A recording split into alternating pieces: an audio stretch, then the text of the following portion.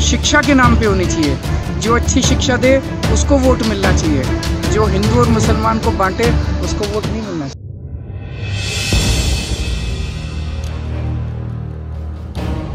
आज, पूरे दिल्ली के सभी, दिल्ली सरकार के स्कूलों में पीटीएम हो रही है। सभी पेरेंट्स अपने बच्चों से मिलने के लिए आ रहे हैं।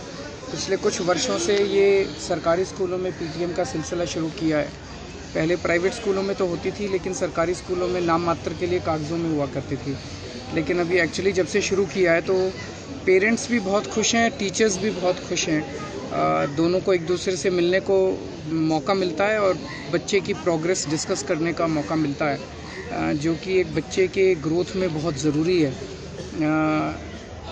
इसके ज़रिए क्योंकि पेरेंट्स आते हैं टीचर्स से बात करते हैं तो पेरेंट्स भी अपने घर में बच्चे की पढ़ाई में ज़्यादा इंटरेस्ट लेते हैं। उसकी स्कूलिंग में ज़्यादा इंटरेस्ट लेते हैं। उनको पता होता है कि हमारा बच्चा कैसा कर रहा है। तो मैं आज बहुत खुश हूँ। आज स्कूल में आया था। मैं देखने के लिए पेरेंट्स से मिलने के लिए और पेरेंट्स से मिल के अच्छा लगा।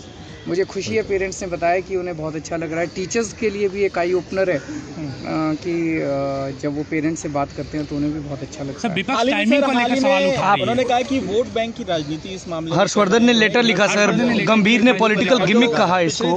पेरेंट टीचर मीटिंग गिमिक है। सो मैं क्या बताऊँगा? अगर वो कहते हैं कि पेरेंट टीचर मीटिंग गिमिक है तो टाइमिंग को लेकर सवाल उठाया सर। ये पिछले कितने सालों से अब तो कर रहे हैं? दो तीन साल से पेरेंट टीचर मीटिंग चल रही है।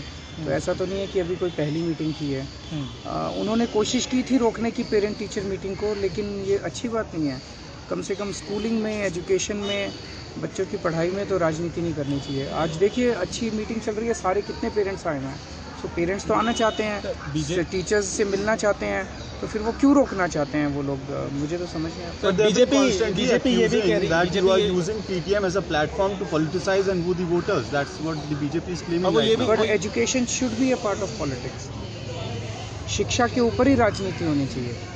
धर्म पे राजनीति नहीं होनी चाहिए, हिंदू मुसलमान की राजनीति नहीं होनी चाहिए। आज आपने देखा यहाँ पे हिंदुओं के बच्चे भी पढ़ रहे हैं, मुसलमानों के भी बच्चे पढ़ रहे हैं क्रिश्चियंस के भी बच्चे पढ़ रहे हैं। यही तो अच्छी राजनीति है। वोटिंग शिक्षा के नाम पे होनी चाहिए। जो अच्छी शिक्षा दे, उसको वोट मिलना चाहिए। जो हिंदू और मुसलमान को बांटे, उसको वोट नहीं मिलना सर यूपी के डिप्टी